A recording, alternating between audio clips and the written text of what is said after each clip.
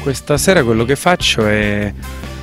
ehm, entro nello spettacolo di Tommy musicalmente per, eh, eh, per dare una, una vitalità musicale maggiore live invece che con, con tutto il supporto mediatico che c'ha, cioè il, supporto digitale che c'ha.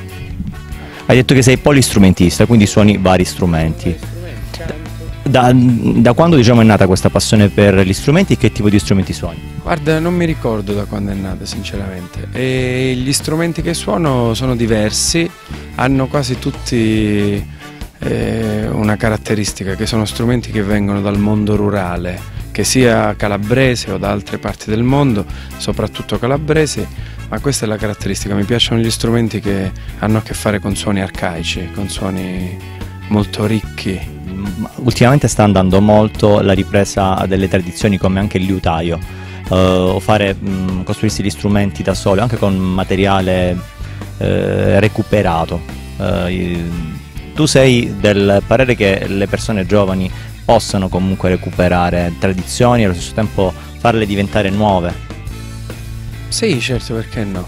La gente giovane, anzi, dovrebbe essere questo lo scopo della vita di una persona giovane, quello di prendere ciò che trova dal passato, quello che è stato fatto prima che lui nascesse e migliorarlo.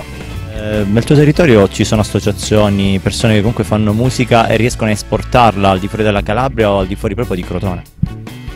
non è un territorio particolarmente ricco a livello musicale o culturale in generale. Ci sono delle associazioni eh, a livello amatoriale, magari ci sono dei festival estivi che si distinguono in quel territorio, ma musicalmente particolarmente no, non credo. Questa contaminazione che tu hai detto che cadrà, accadrà questa serata, quindi la tua musica con eh, la comicità di Tommy Terrafino, eh, cosa ci dobbiamo aspettare? Beh, eh, Tommy è un treno, è un treno che ti travolge, ti porta in un mondo fatto di hilarità, di, di fantasia, di creatività, un mondo più leggero.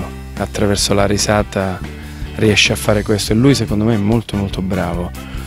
E um, i momenti in cui c'è la parte musicale diventano dei momenti ancora più forti perché o accompagnati dal canto, strumenti a fiato oppure percussivi chiaramente eh, aumentano e evidenziano questa forza che arriva al pubblico.